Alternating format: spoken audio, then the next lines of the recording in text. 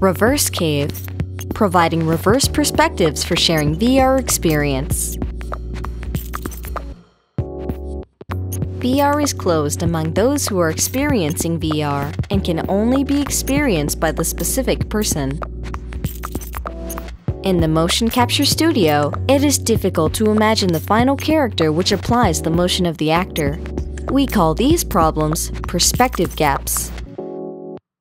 We present ReverseCAVE for sharing the VR experiences with others. In a motion capture studio, we can visually recognize the appearance of the actor. The actor also can see the character's movement. It helps the actor to act.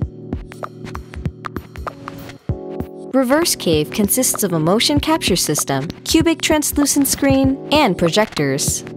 The motion capture system is used to acquire the head position of the observer to calculate the projection position. The VR environment the player is experiencing is projected into the screen. By this, the observer outside of ReverseCAVE can see both the actual player and the VR environment. Also, when viewing the actor from the observer's side, the character is superimposed to the actor.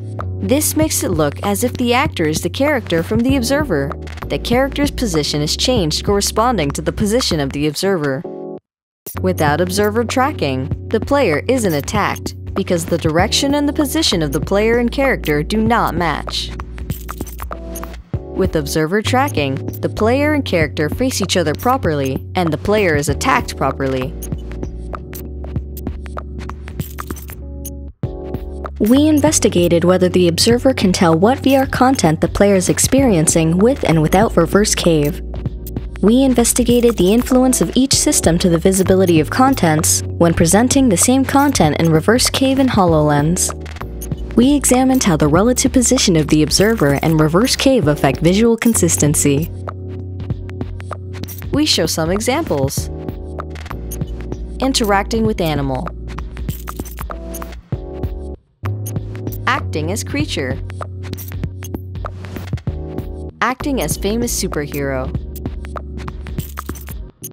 Till today, VR experience was only for the player.